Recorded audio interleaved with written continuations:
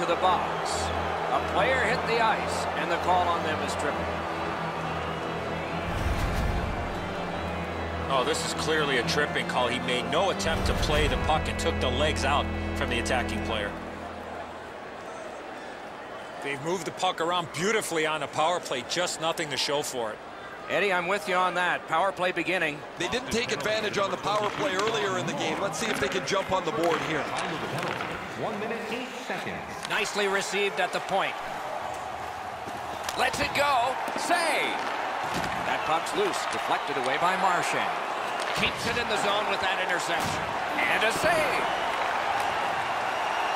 Cleared back out again, and so the power play unit has to drop back. He's got possession. He's just got to get rid of it. Bodied off.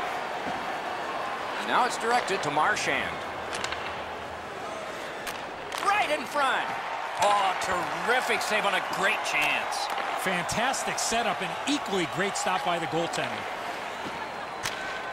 And he dumps it in. Vegas continues on in the defensive zone. Pass attempt to Wandell.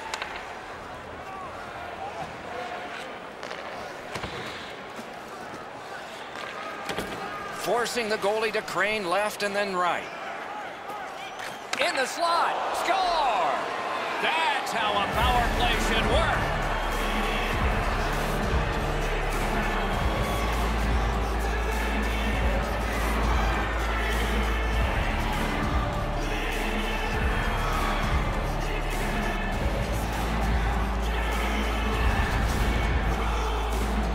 Get the man advantage break, and it is a break if only if you cash through. They're able to score. The power play goal has tied this contest up.